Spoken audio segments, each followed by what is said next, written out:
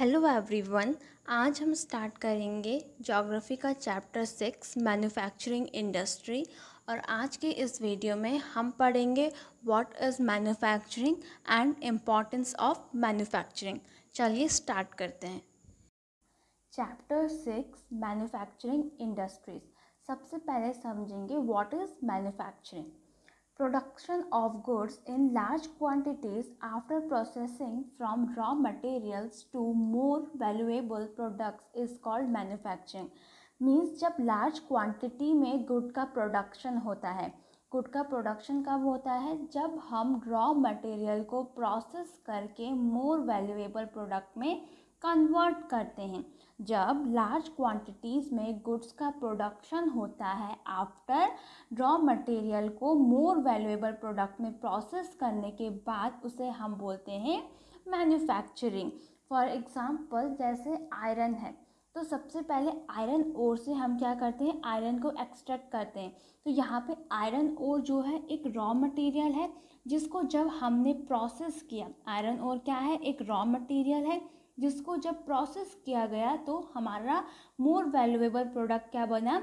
Iron बना। तो ये क्या है? एक मैन्युफैक्चरिंग का एग्ज़ाम्पल है। तो मैन्युफैक्चरिंग मीन्स होता है, जब हम लार्ज क्वांटिटी में गुड का प्रोडक्शन कर रहे हैं, और गुड का प्रोडक्शन कैसे कर रहे हैं?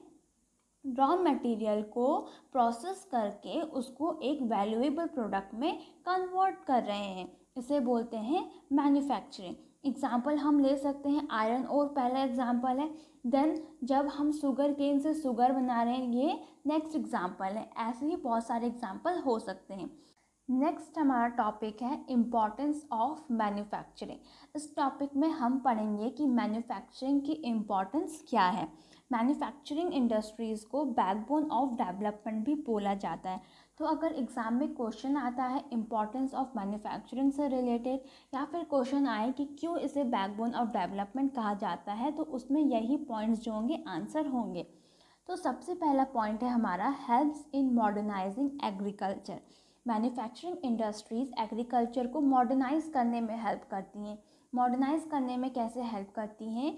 क्योंकि मैन्युफैक्चरिंग इंडस्ट्री में ही किसका प्रोडक्शन होता है?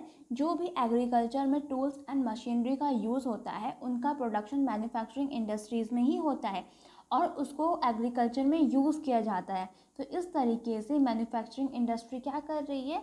एग्रीकल्चर को मॉडर्नाइज बनाने में हेल्प कर रही है। देन नेक्स्ट पॉइंट है reduce heavy dependence of people on agriculture income by providing them jobs in secondary and tertiary sector. Means, जो मैन्युफैक्चरिंग इंडस्ट्रीज़ है, वो हैवी डिपेंडेंस ऑफ़ पीपल मतलब जो लार्ज अमाउंट में या लार्ज नंबर में जो पीपल एग्रीकल्चर पर अपनी इनकम के लिए डिपेंड हैं, वो बर्डन जो है मैन्युफैक्चरिंग इंडस्ट्रीज़ एग्रीकल्चर से कम करती हैं। कैसे कम करती हैं? उन लोगों को सेकेंडरी एंड टर्सरी सेक्टर्स में जॉब प्रोवाइड कर कर। जो मैन्युफैक्चरिंग इंडस्ट्रीज़ हैं, वो सेकेंडरी सेक्टर में आ जाती हैं। जो भी मैन्युफैक्चरिंग होती है, वो सारी किसमें आती हैं? सेकेंडरी सेक्टर में आती हैं। तो मैन्युफैक्चरिंग इंडस्ट्रीज़ हैं तो वहाँ पर काम करने के लिए क्या चाहिए? लोग चाहिए, वहाँ पर लोग ही काम करेंगे। तो इससे क्या होगा कि कुछ लोग जो एग्रीकल्चर पर डिपेंडेंट हैं, वो अब कहाँ शिफ्ट हो जाएँगे? सेकेंडरी सेक्टर में शिफ्ट हो जाएँगे। तो इस तरीके से मैन्युफैक्चरिंग इंडस्ट्रीज़ जॉब प्रोवाइड करा रहा है सेकेंडरी सेक्टर में। अब जो सेकेंडरी सेक्टर में गुड प्रोड्यूस हो रहे हैं, वो मार्केट तक कैसे जाएँगे? ट्रांसपोर्ट की हेल्प से एंड ट्रांसपोर्ट जो है हमारा टर्सरी सेक्टर में आ जाता है। तो ऐसे manufacturing industry indirectly tertiary sector में भी जॉब प्रोवाइड करा रहा है। सिर्फ़ ट्रांसपोर्टेशन ही नहीं, और भी जो सर्विसेज़ हैं, उसमें भी मैन्युफैक्चरिंग इंडस्ट्री जो है हेल्प करता है टर्सरी सेक्टर में जॉब दिलाने में। तो इस पॉइंट में क्या था कि मैन्युफैक्चरिंग इंडस्ट्री जो है एग्रीकल्चर इनकम से लोगों का बर्डन कम कर रही है, उन्हें सेकेंडरी एंड टर्सरी सेक्टर में जॉब प्रोवाइड कराकर देन नेक्स्ट पॉइंट है हमारा industrial development is a precondition for eradication of unemployment and poverty from our country. This was the main philosophy behind public sector industries and joint ventures in India.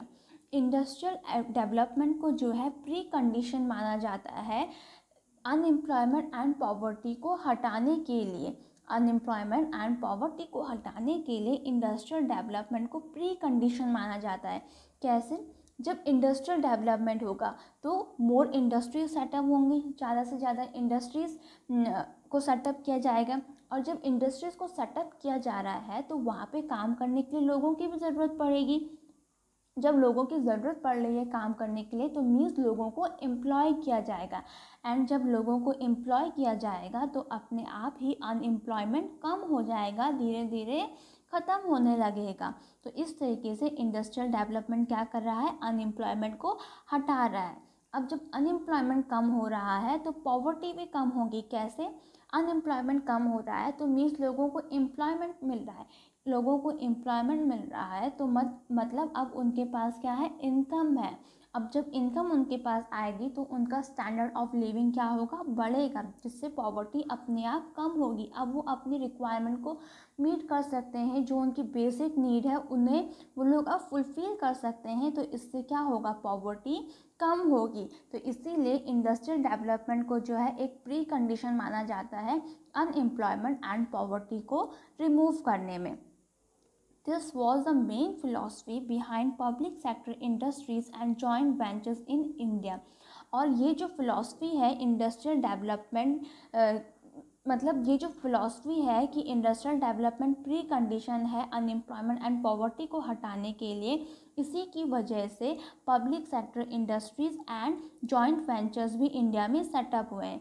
Public sector industries क्या होती हैं? वो industries जिसको govern and own जो है government करती है। Means उसकी जो ओनर होती है, वो गवर्नमेंट होती है। उन्हें हम बोलते हैं पब्लिक सेक्टर इंडस्ट्रीज़ तो जो पब्लिक सेक्टर इंडस्ट्रीज़ हमारे कंट्री में सेटअप होती हैं, उसके पीछे मोटिव ही यही होता है कि हम अनएम्प्लॉयमेंट एंड पॉवर्टी को हटा सकें। Then joint ventures joint ventures क्या होते हैं? जहाँ पर public sector and private sector जो है साथ में आकर काम करते हैं। उन्हें बोलते हैं जॉइंट वेंचर्स तो joint ventures and public sector industries को इसीलिए सेटअप किया जाता है ताकि जो अनएम्प्लॉयमेंट एंड पॉवर्टी है, उसे हमारी कंट्री से हटाया जा सके, कम किया जा सके। नेक्स्ट इम्पॉर्टेंस है helps in bringing down regional disparities manufacturing industries जो होती हैं, वो रीजनल डिस्पैरिटीज़ को कम करने में हेल्प करती हैं। रीजनल डिस्पैरिटीज़ मीन्स होता है रीजनल अनइक्वालिटी मीन्स दो रीजन है और एक ज़्यादा डेवलप है एंड एक कम डेवलप है.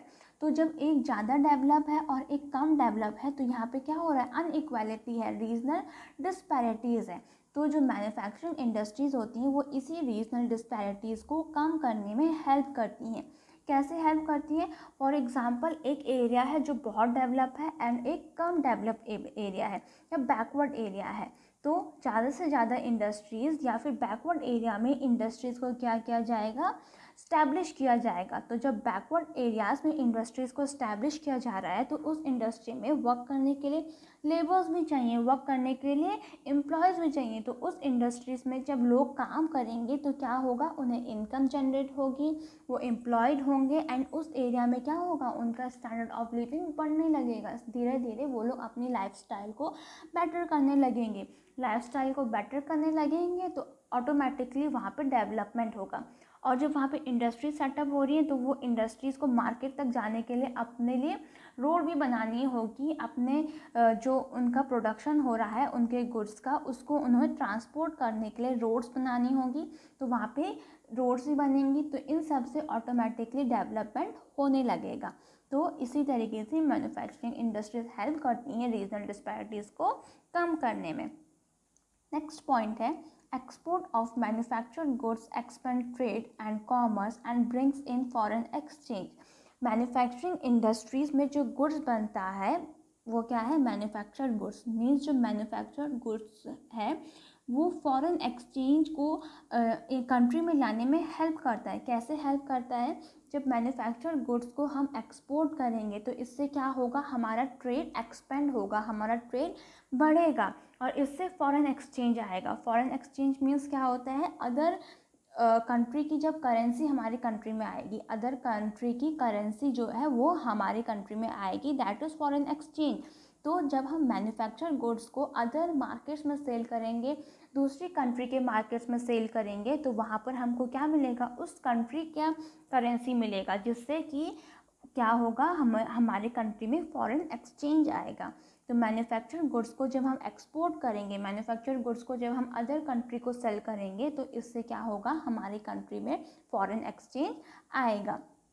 नेक्स्ट इम्पॉर्टेंस है manufacturing converts raw material into finished goods of higher value which leads to prosperity of a country manufacturing से क्या होता है कि जो रॉ मटेरियल होता है, उन्हें हम फिनिश गुड्स में कन्वर्ट करते हैं।